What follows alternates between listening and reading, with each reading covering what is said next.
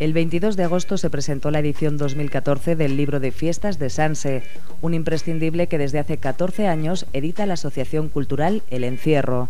Los protagonistas en esta ocasión son los personajes del encierro, con una dedicatoria especial a Teófilo Sanz, uno de los primeros pastores que tuvo el encierro local. Y la verdad es que fue un tiempo muy duro, muy duro porque no se estaba acostumbrado a los pastores, todo el mundo quería recortar los toros y había que evitar eso.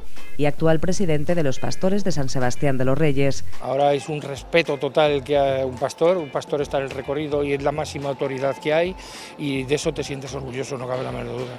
La publicación incluye, entre otras cosas, un reportaje sobre la plaza, escrito por Santiago Izquierdo, cronista oficial de San Sebastián de los Reyes, ilustraciones de Fernando Corella, algunas dedicadas al doctor Jesús Gálvez, que ha estado al frente de la enfermería de la Plaza de Toros durante los últimos 50 años, y también incluye interesantes artículos de temática taurina relacionados con las fiestas locales, firmados por conocidos taurinos locales y nacionales.